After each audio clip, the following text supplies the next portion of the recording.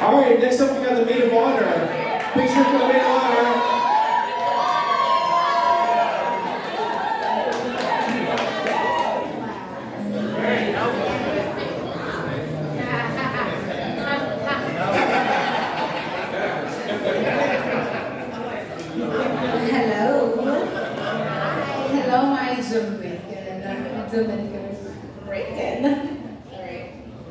So, before I begin speech, I'd like to say that Rochelle,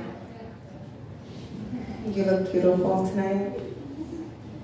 Round You know, uh.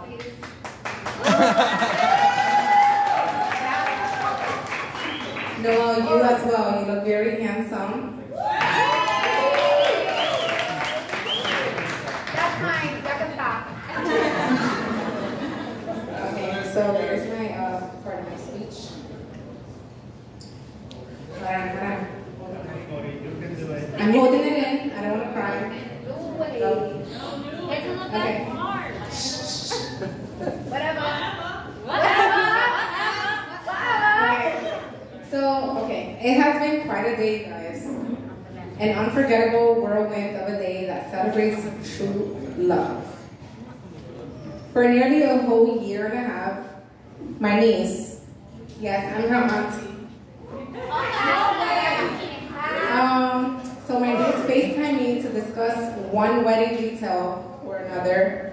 So of course it has nothing to do with the fact that she would probably kill me That's right.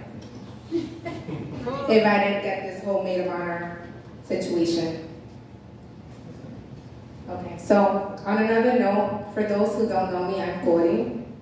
I was three years old when the adventure between Rochelle and I began. That's right. I got pictures. Ah, yes, you do.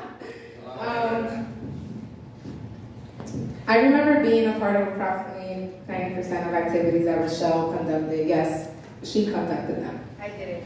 Yes. The leader. She is. And sorry, I it deleted, so it's coming from my heart.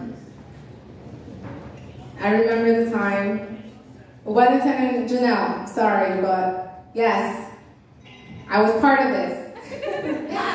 She would, yes, listen to this though. I'm 30, she's 27. When we were kids, she would sneak out the window, and I would walk around upstairs in the attic to make noise, to pretend that we're all upstairs, okay. So yes, I've been prepared. You can't do nothing now. You can't do nothing now. I prepared myself for this day to be her maid of honor. No returns. So I am very happy. I feel like a part of me has been fulfilled because Mr. Noel here, he's Mr. Right. You know, this is what she needed.